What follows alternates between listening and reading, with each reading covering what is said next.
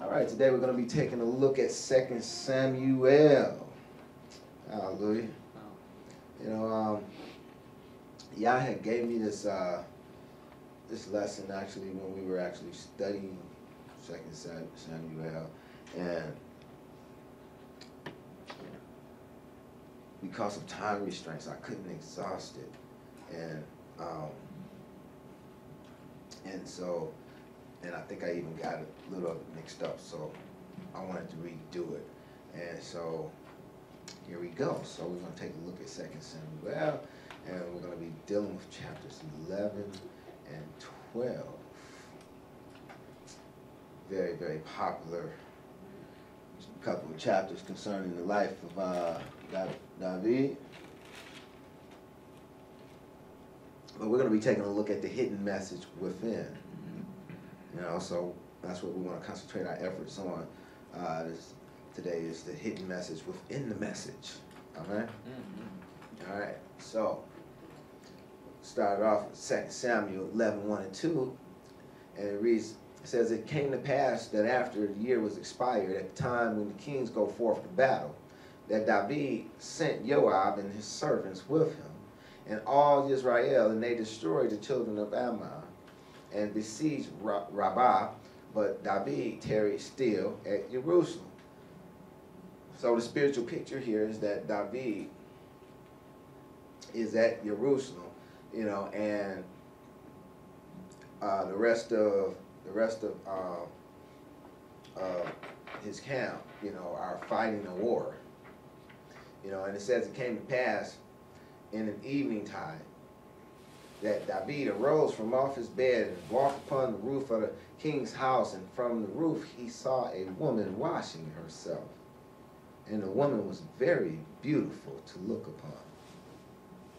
Now, what I want to kind of point out today is that much of this is symbolic and even revelatory of what would happen, you know, during the time of Yahushua.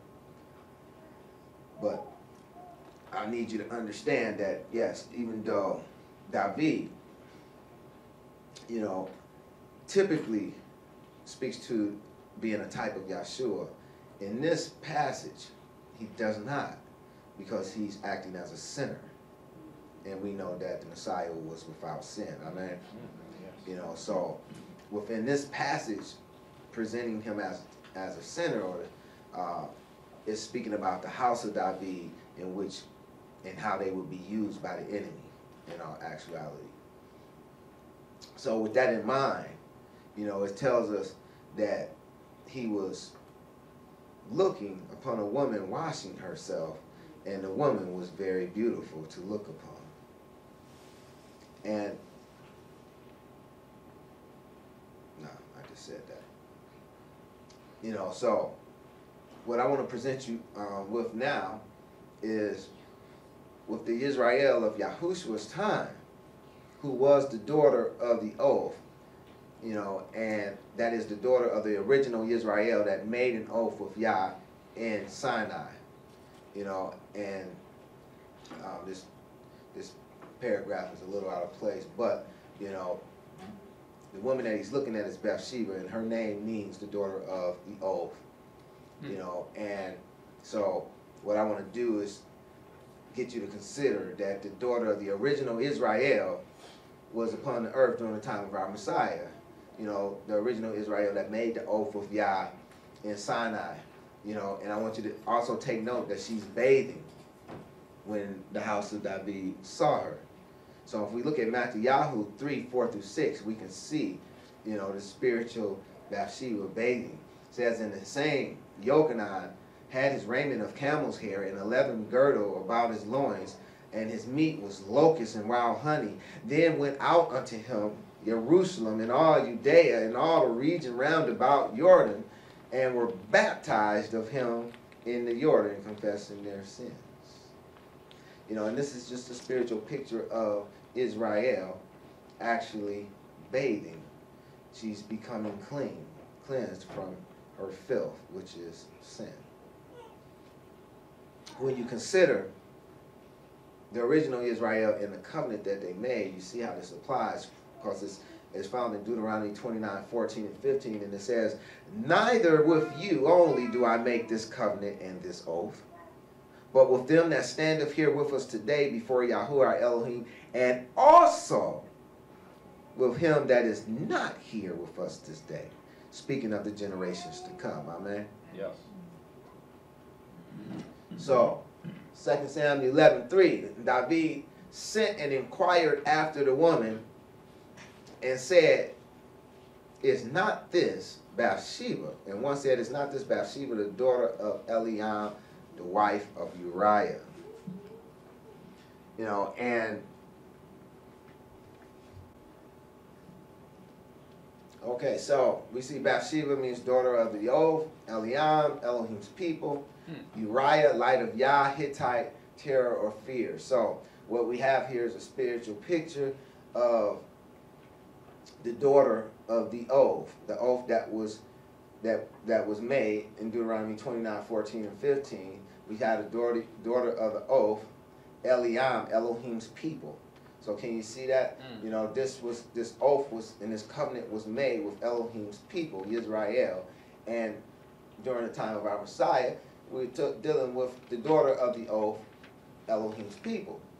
Okay, and the daughter, uh, the wife of Uriah the Hittite.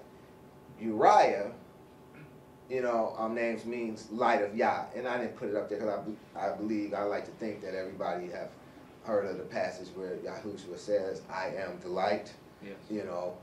So, and he's the only one uh, that's referred to by the light, besides those that come after him, you know. But Uriah, his name means light of Yah, and so we see a spiritual picture here of Israel, um, Bathsheba, the cleansed, the one that was cleansed, you know, being the wife of Yah, you know, and him being a Hittite is just speaking to the reverence and the, the fear, you know, because he was, of course, Elohim, the son of Elohim. Okay, so let me have my first reader read Yochanan three twenty five through twenty nine, which uh, validates this concept. Then there arose a question between some of John's disciples and the Jews about purifying. And they came unto John and said unto him, Rabbi, he that was with thee beyond the Jordan, to whom thou bearest witness, behold, the same baptizeth, and all men come to him. John answered and said, A man can receive nothing except it be given him from heaven. Ye yourself bear me witness that I said, I am not the Messiah, but that I am sent before him. He that hath the bride is the bridegroom. But the friend of the bridegroom which standeth and heareth him rejoiceth greatly because of the bridegroom's voice. This was my joy before is fulfilled. Hallelujah. So hereby we learn that Bathsheba, the daughter of the oath, was the wife of Uriah, the light of Yah. Hence, we can conclude that Bathsheba represents the ecclesia, which um, came out of Israel and uh, cleansed herself. You know, and Uriah represents Yahushua, who is the light. You know, and so we can see here that he truly did uh, that uh, Yochanan the Immerser, or John the Baptist, if you prefer, truly was uh, bearing witness that he was the one with the bride. You know, and that our Messiah was the bridegroom. You know, they were asking him, you know, and he was telling them, hey, I told you uh, I wasn't the one. You know, he that have the bride is the bridegroom. Makes sense to me. Mhm. All right, so 2 Samuel 11, 4 and 5 says, And David sent messengers and took her, and she came unto him, and he lay with her. For she was purified from her uncleanness, and she returned unto her house. And the woman conceived, and sent and told David, and said, I am with child. See, now he knew she was married, but mm-hmm. okay, but we're not getting into that. All right, so said, And David sent messengers and took her, and she came in unto him, and he lay with her. You know, and the woman conceived. So, need you to remember that sinful David represents the enemy. So, this is a spiritual pick of what the enemy would do. And we see, if we go to Yeshua's, uh, the account of Yeshua's life, we see in Luke 22, 3 through 5, we see the enemy sending messengers and taking the bride and going into her and land with her, spiritually speaking, of course. Um, Luke 22, 3 through 5. Um, my next reader, please. Then entered Satan into Judas, surnamed Iscariot, being of the number of the twelve. And he went his way and communed with the chief, with the chief priests and captains, how he might betray him unto them. And they were glad and converted to hi- uh, to give him money. Okay, so here it is. We see that um, Judas Iscariot, he was one of the twelve, representing he was part of the bride. You know, and says that Satan, that he went into Judas, and here it is. He it says he covenanted with him to give him money.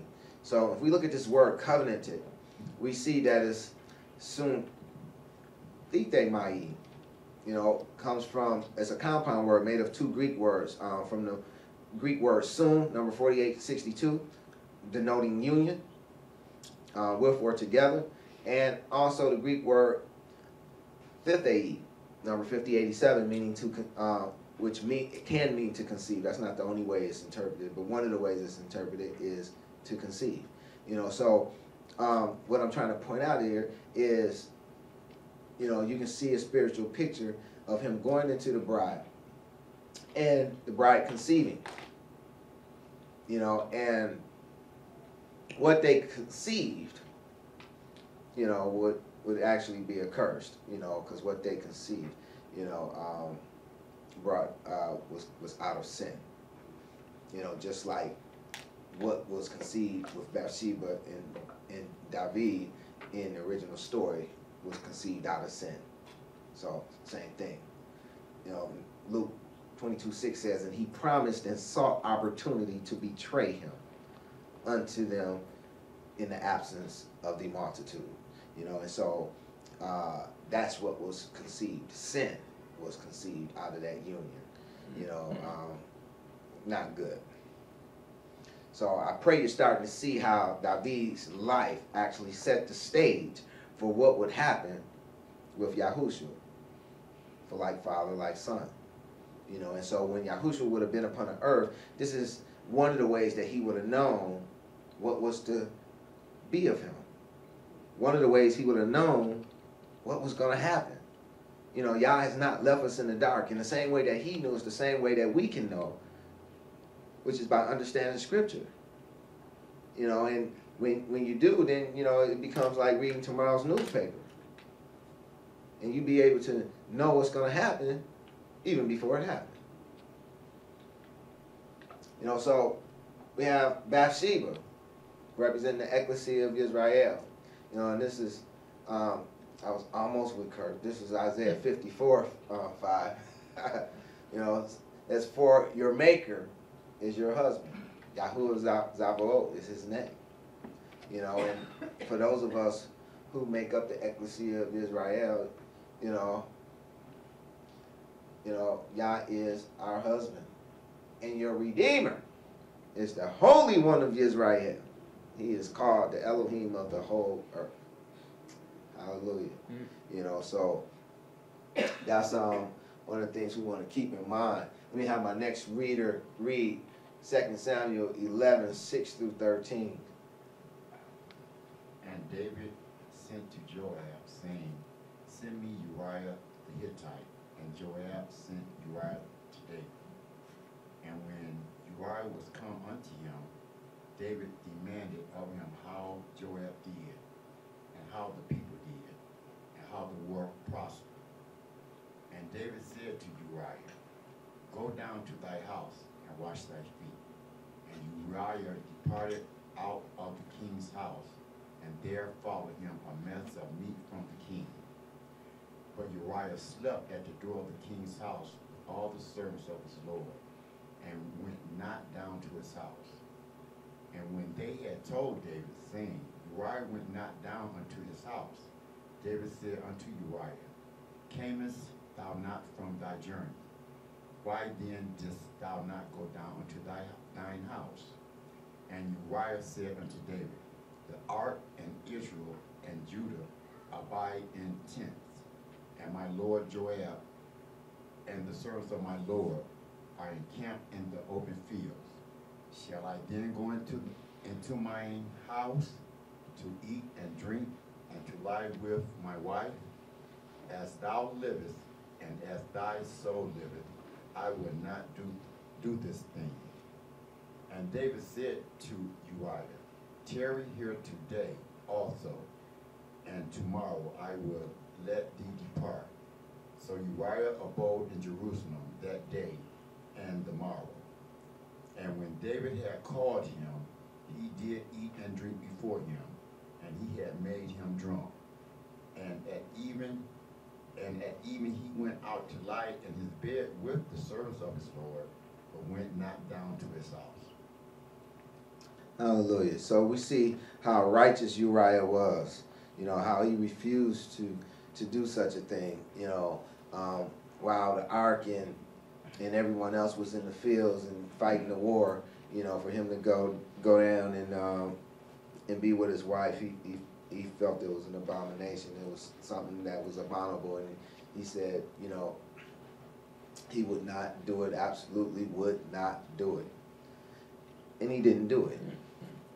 You know, but this also reminds me of something that happened happened with the Messiah.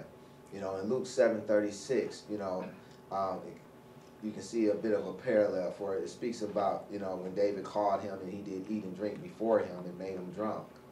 You know, and uh, and and you know invited him to eat because he was plotting. Um, actually, uh, um, end up plotting against them out of that. You know, so we see in Luke seven thirty six through thirty nine, Messiah also going to the enemy, one of the um, Pharisees. You know, and it says, and one of the Pharisees desired him that he would eat with him. And he went into the Pharisee's house and sat down to meat. And behold, a woman in the city, which was a sinner, she knew that Yahushua sat at meat in the Pharisee's house, brought an alabaster box of ointment, and stood at his feet behind him weeping, and began to wash his feet with tears, and wiped them with the hairs of her head, and kissed his feet, and anointed them with ointment you know, and I just thought this was just so, so uh, uh, parallel, so much parallel, you know, when David had called Uriah, you know, and he told told Uriah, you know, to go and wash, um, go to thine house and wash thy feet. And here it is, we see Messiah eating with, with the enemy, even as Uriah was eating with his enemy, you know, and his feet's getting washed. You know, and verse 39 said, And now when the Pharisee which had bidden him saw it, he spake with him, saying, This man, if he were a prophet, would he have uh, would he have known who and what manner of woman this is that toucheth him? She is a sinner. You know, and so we can see that he already had preconceived notions. He already was judging, you know, and was doing so incorrectly. I mean, I'm the next reader read 2 Samuel 11, 14, and 15, please. And it came to pass in the morning that David wrote a letter to Joab, and sent it, sent it by the hand of Uriah. And he wrote in the letter, saying, Set ye Uriah to the forefront, forefront of the hottest battle, and retire ye from him, that he may be smitten and die. Okay, so here it is. We see simply a picture of the house of um, David, you know, those who were ruling over Jerusalem, sending sending to the other the other uh, Uriah to his to the other one that was in charge in Jerusalem, you know, um, uh, even Joab, who was captain of the guard. You know, here it is. We see uh, David sending Uriah and Joab, Uriah to Joab to be killed. sending him to his death, in other words, you know, so, um, and even had him, you know, carry the letter himself, you know, that he may be smitten and die. So it was just a spiritual picture of him sending sending him to his to his death to uh, to another another one of his cronies, um, actually to die. You know, and keep in mind that these people was people that Uriah knew. He knew David personally. He knew Joab. You know, just like with the Messiah, these were supposed to be his brethren. You know, they were all Yahudim. You know, so you know it's it's it's uh you know very very evident that you know that there's a, a whole lot here that meets the eye. You know, um, it's just uh, horrible to think. You know, but we need to understand this because it's gonna be like the same way in the end times. You know, if we if we're uh, around, then we need to know how the setting is gonna be. Amen. You know, so Luke twenty three and six, you know, speaks to speaks to this. It says, when Pilate heard got uh, heard of Galilee, he asked whether the man were a Galilean. And as soon as he knew that he belonged to Herod's jurisdiction, he sent him to Herod, who himself was at Jerusalem at that time. And so again, here it is. We see the same thing. You know, um, the house of David sending sending them, uh, the Messiah even to his death. You know, and of course we know Herod isn't going to say anything different. You know, but send him, you know, to to his death over to Pilate. All right, let me have my next reader read 2 Samuel 11, 23 and 24 and drop down to 2 Samuel 11, 26, please. And and the messenger said unto David, Surely the men prevailed against us, and came out unto us and into the field, and we were upon them even unto the entering of the gate. And the shooters shot from off the wall upon their servants, and some of the king's servants be dead, and their servant Uriah the Hittite is dead also. And when the wife of Uriah heard that Uriah, her husband, was dead, she mourned for her husband. Thank you.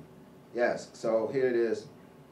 We see that uh, David get, sends Uriah to his death, even as um, the house of David sent Yahushua, who who also whose name who was the light, even as Uriah's name means the light of Yah. We see the light of Yah being sent unto his death as well. You know, um, and says the wife of Uriah heard that Uriah, her husband, was dead, and she mourned for her husband. And if we look in the Brit Chadashah, we see them mourning for Yahushua. They mourned for their husband. You know, Mark 16, 9 and 10, and Luke 24, 17 through 19. Um, uh, my next reader, please. Now, now when Yahushua was risen early, early the first day of the week, he appeared first to Mary Magdalene, of whom he had cast seven devils. And she went and told him that he had been with him, and they mourned and wept. And he said unto them, What manner of communication are these that ye have one to another as ye walk and are sad?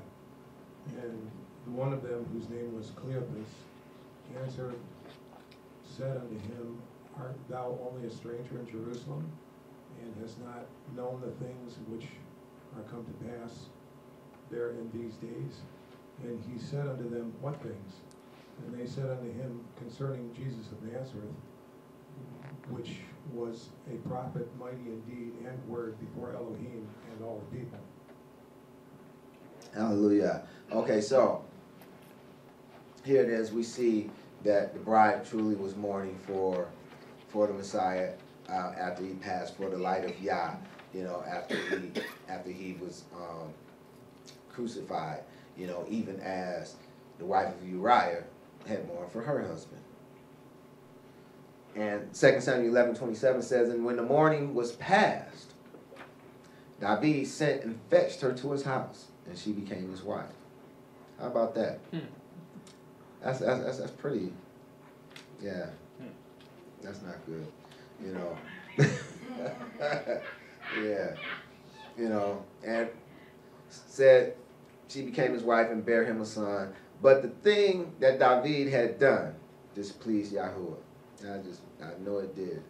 You know, so, see the spiritual picture, this, um, Acts one, four, and five says, and being assembled together with them, commanded them that they should not depart from Jerusalem. And speaking, this is the Messiah speaking to the, um, his, his bride, speaking to Bathsheba in the scheme of things. Says, but wait for the promise of the Father, which saith he, ye have heard of me, for Yochanan truly baptized with water, but ye shall be baptized with Ruach HaKodesh not many days hence. You know, and then we have Acts 8 1, it says, and Saul, or Saul, was consenting unto his death, and at that time there was a great persecution against the ecclesia. Now, this per- persecution uh, was, uh, well, anyway, uh, which was at Jerusalem, and they were all scattered abroad throughout the regions of Judea and Samaria, except the apostles. So we see the apostles, they were to stay at Jerusalem, and even after they uh, um, gave birth, so to speak, they still were at Jerusalem with the rulers of um, the house of David, you know, that was ruling over Jerusalem, because they were married to him. So they had to stay there. Acts 15, 1 and 2, you know, and certain men which came down from Judea taught the brethren and said, Except ye be circumcised after the manner of Moshe, ye cannot be saved. When therefore Paul and Barnabas had no small dissension and disputation with them, they determined that Paul and Barnabas and certain of them should go up to Jerusalem unto the apostles and elders about this question. Uh, actually, uh, I think I got one of my slides out of place. Uh,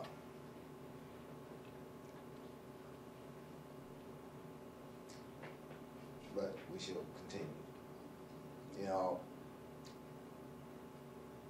Galatians 2, 4 through 6, and Jude 1, 3, and 4, my next reader, please. And that because of false brethren,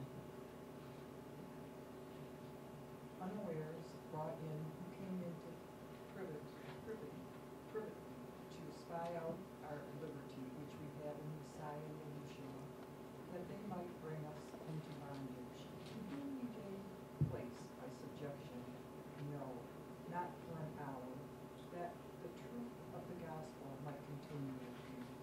But of these who seem to be somewhat whatsoever they were, it maketh no more matter to me. Elohim accepteth no man's person, for they who seem to be somewhat in conference added nothing to me. Beloved, when I give all to write unto you of the common salvation, it was needful for me to write unto you, and exhort you that you should earnestly contend with the faith which was once delivered unto the saints. For there are certain men kept in unawares, who were before of old ordained to this condemnation, ungodly men turning the grace of our Elohim into lasciviousness, and denying the only Adonai Elohim, and our Adonai Yahushua Messiah. Okay, so what we're taking a look at is when the morning was past and David sent and fetched her to his house and she became his wife. So we have Acts 1, 4, and 5, you know, that speaks to them actually being at Jerusalem, you know, um, and how even when everyone left, the apostles still stayed at Jerusalem because they were married to the house of David that was ruling at Jerusalem. So they were co- commanded of Yah to stay there, and so they did. You know, and so this is just a spiritual picture of Bathsheba, you know, uh, being married to the house of David. And then we have Acts 15, which after the mourning speaks, uh, uh, after they mourned the death of the Messiah, speaks of certain men which came down from Judea, you know, and began to teach things that wasn't right. You know, and so this is uh, just a spiritual picture of of um, again the ecclesia being married to the house of David. You, here it is. We see uh, many of them actually became a part of them. You know, and, and was speaking about since they was teaching something incorrect. they wanted to get to the bottom of it, so they were like, okay, well, we're gonna go to the pillars of the faith, which is in Jerusalem where the ecclesia was. You know, now this is the same thing that Paul speaks about in Galatians 2, the very same, very same thing. You know, um, these false brethren that were brought in unawares. You know, this is the house of David, the wicked house of David that took Bathsheba, you know, and and uh, made her his his bride after killing the light of Yah. And so we see them actually um, brought in, and the uh, the reason for is that they wanted to bring them into bondage. You know, even as you know when Bathsheba was brought unto unto David in the house of David, she became his wife. She was in subjection to him. This is the same thing that these false brethren came into the ecclesia to do to make them be in subjection unto them. You know, and this is the problem that Apostle Paul had with them in Jerusalem. You know, it's like, you know, and he said it seemed like they were in somewhat in conference, like, you know, they were together, you know.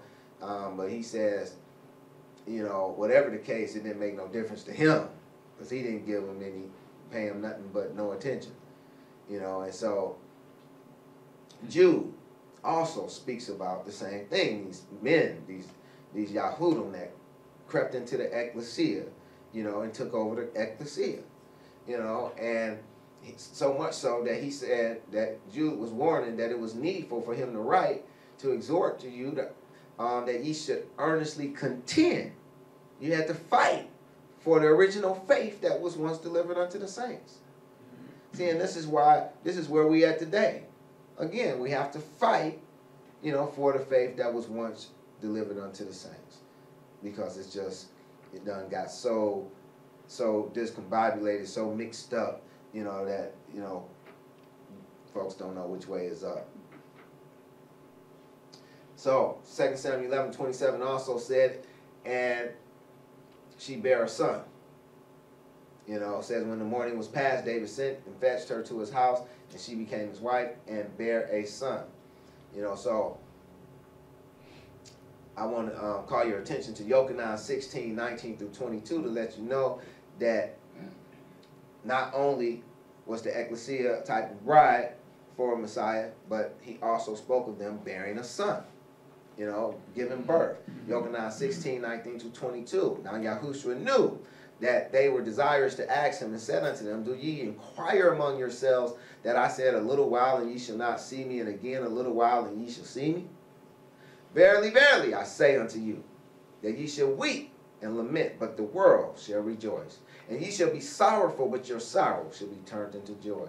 A woman, when she is in travail, hath sorrow, because her hour is come. But as soon as she is delivered of the child, she remembereth no more the anguish for joy that a man is born into the world. And ye know, therefore, and ye now, therefore, have sorrow. But I will see you again, and your heart shall rejoice, and your joy no man taketh from you. So hereby we learn that, spiritually speaking, Yahushua's disciples, um, his ecclesia, were in fact pregnant before he died, and he was prophesying of their giving birth to a son. You know, and so it's the same thing like we seen with Bathsheba. You know, she had conceived, and this is part of the reason that brought about the death of Uriah. So, take a look at hmm. the ecclesia actually giving birth. Hmm. Acts 2, 1 and 2. And when the day of Pentecost was fully come, they were all with one accord in one place, and suddenly there came a sound from heaven of a rushing wind, mighty, a rushing mighty wind, and it filled all the house where they were sitting. And Acts 2, 41. Then they gladly received his word and were baptized in the same day were added unto them about 3,000. You know, so here it is. We see that the uh, Ruach HaKodesh, the Holy Spirit, came upon them. You know, and that same day was added 3,000. And then the next day, um, it speaks of, it says, And as they spake, un- this is Acts 4, 1 through 4. And as they spake unto the people, the priest and the captain of the temple and the Sadducees came upon them, being grieved that they taught the people and preached through Yahushua the resurrection from the dead. And they laid hands on them and put them in hold until the next day, for it was now evening tide. Howbeit, many of them which heard the word believed, and the number of men of the men were about five thousand. Mm. Okay, and so if you put five and three together, you get eight thousand. Eight is the number of new birth. Mm. You know, and you see also that right after this, it speaks of no one else joining. Um, no one else joining uh, the ecclesia. You know, and so this is a spiritual picture of that son being born.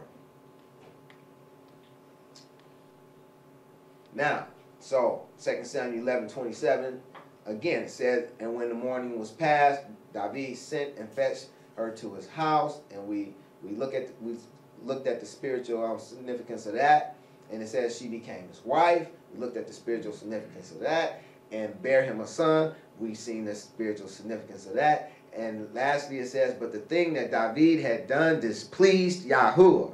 He was not happy about that, Mm. about none of that goings on. You know, and so let's take a look at the spiritual significance of that. You know, um, if we continue on, uh, 2 Samuel 12 1 tells us it says, And Yahuwah sent Nathan unto David. You know, because he didn't like what happened. So he sent Nathan unto David. And he came unto him and said unto him, There were two men in one city, the rich, um, the one rich and the other poor.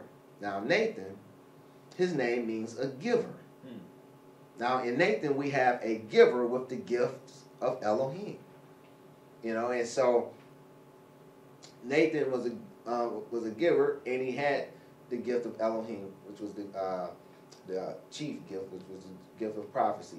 Now, if we look at the spiritual significance of this in First Corinthians 12, 4 through 11, we see that another was given the gifts of Elohim.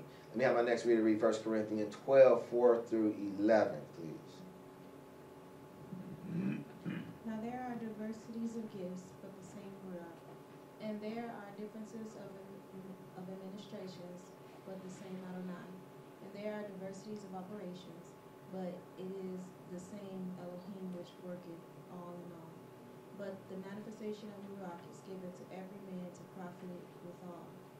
For to one is given by the Ruach the word of wisdom, to another the word of knowledge by the same Ruach, to another faith by the same Ruach, to another the gifts of healing by the same Ruach, to another the working of miracles, to another prophecy, to another discerning of spirits, to ano- another diverse kinds of tongues, to another the interpretation of tongues. But all these worketh that one and self same Ruach, dividing to every man severally as he will.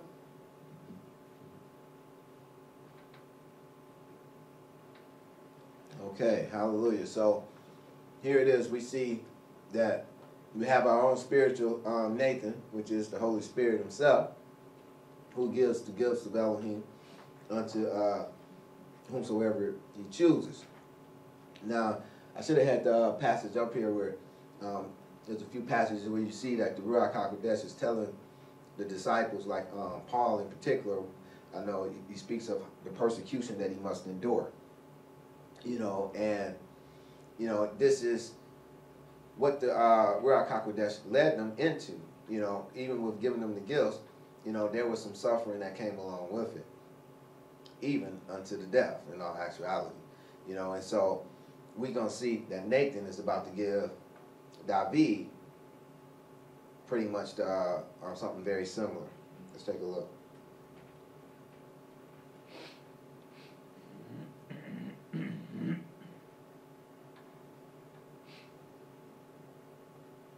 Okay, um, let me have my next reader read Second Samuel 12, 2 through 9.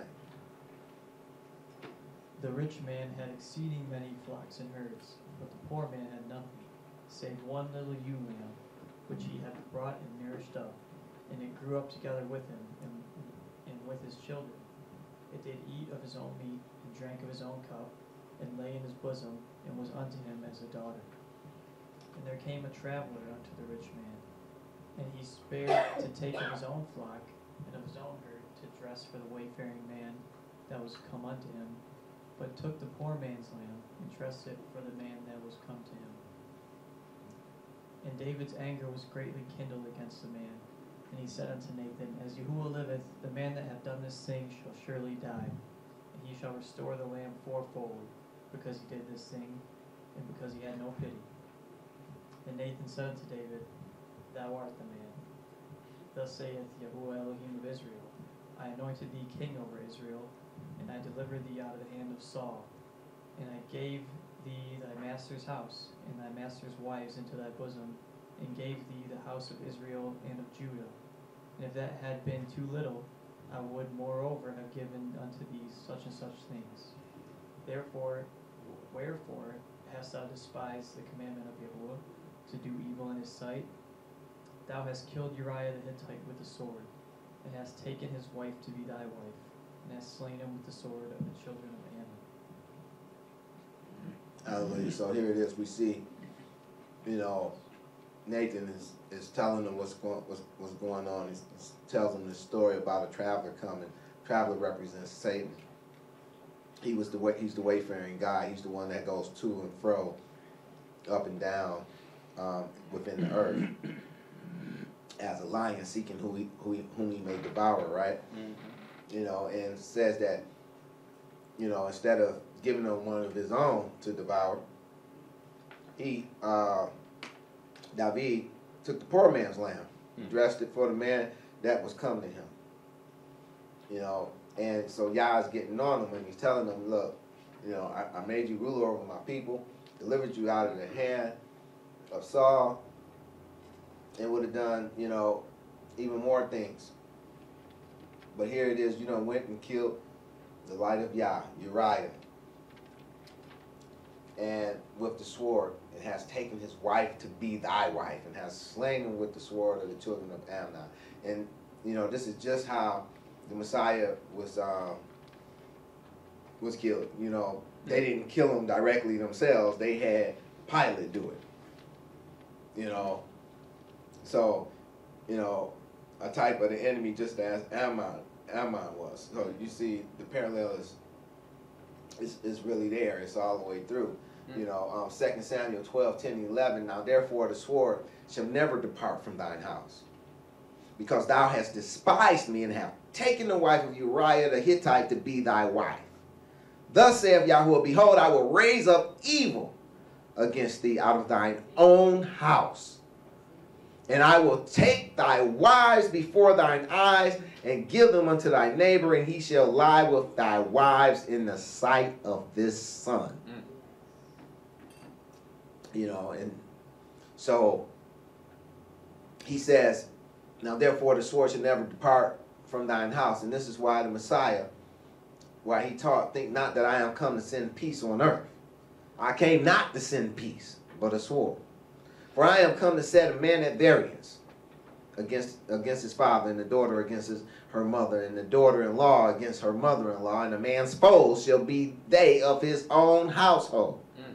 See, he was able to say this because he knew that he was as Uriah the Hittite, and because of his death,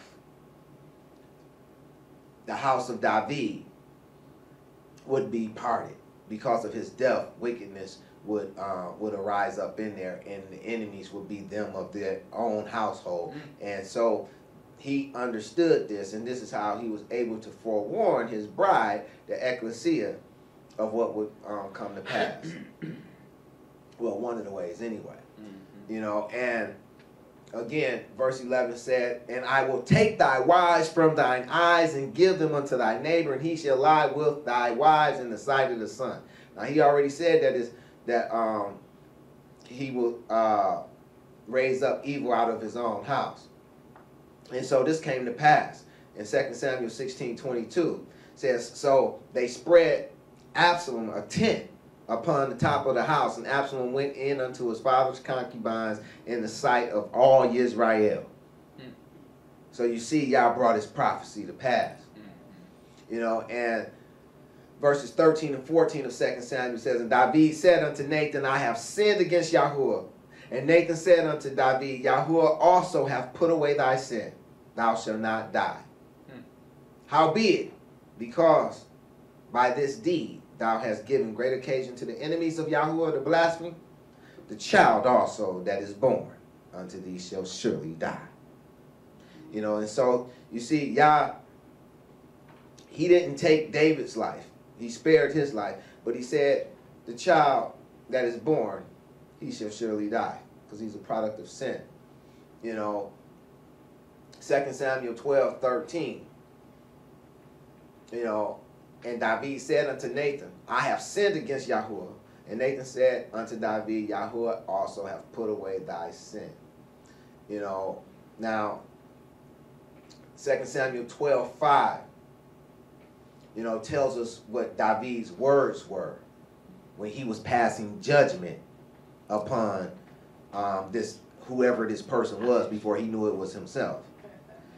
And what he said, it says, and David's anger was greatly kindled against the man, and he said to Nathan, As Yahuwah liveth, the man that have done this thing shall surely die.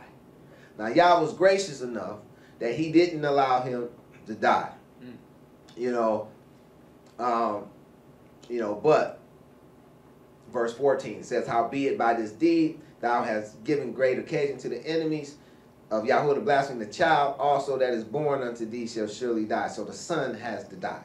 You know, that that um well the child that was born, that firstborn of Bathsheba has to die. You know, and 2 Samuel 12, 18 uh, teaches us that that prophecy came to pass. It says, and it came to pass on the seventh day That the child died. And the servants of David feared to tell him that the child was dead, for they said, Behold, while the child was yet alive, we spake unto him, and he would not hearken unto our voice. How will we then vex him? How will he then vex himself if we tell him that the child is dead? You know, but they little did they know he already knew the child was going to die because Yah had already forewarned him.